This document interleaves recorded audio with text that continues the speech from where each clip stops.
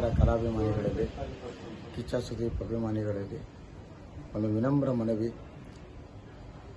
ಕೆಲವು ವಿತರಕರು ಮಾಡಿದ ಮೋಸದಿಂದ ಈ ದಿನ ನನ್ನ ನೆಚ್ಚಿನ ನಟ ಸುದೀಪ್ ರವರ ಚಿತ್ರ ಕೋಟಿಗೊಬ್ಬ ತ್ರಿ ಚಿತ್ರ ಬಿಡುಗಡೆ ಮಾಡಲು ಸಾಧ್ಯವಾಗುತ್ತಿಲ್ಲ.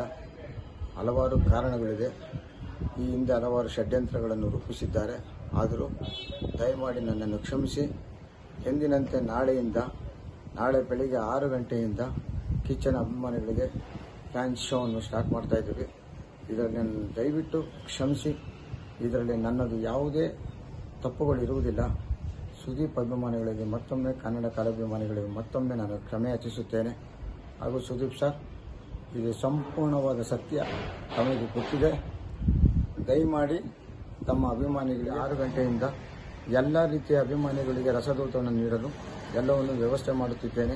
ಖಂಡಿತ ನಾಳೆ ಬೆಳಿಗ್ಗೆ ಎಲ್ಲ ಚಿತ್ರಮಂದಿರಗಳು ಆರು ಗಂಟೆಗೆ ತಾವು ನೋಡಿ ಸಹಕರಿಸಬೇಕೆಂದು ತಮ್ಮ ಅಭಿಮಾನಿಗಳಲ್ಲಿ ತಾವು ಟ್ವೀಟ್ ಮುಖಾಂತರ ತಿಳಿಸಬೇಕೆಂದು ತಮ್ಮಲ್ಲಿ ಮತ್ತೊಮ್ಮೆ ಮಗದೊಮ್ಮೆ ಕೇಳಿಕೊಳ್ಳುತ್ತಿದ್ದೇನೆ.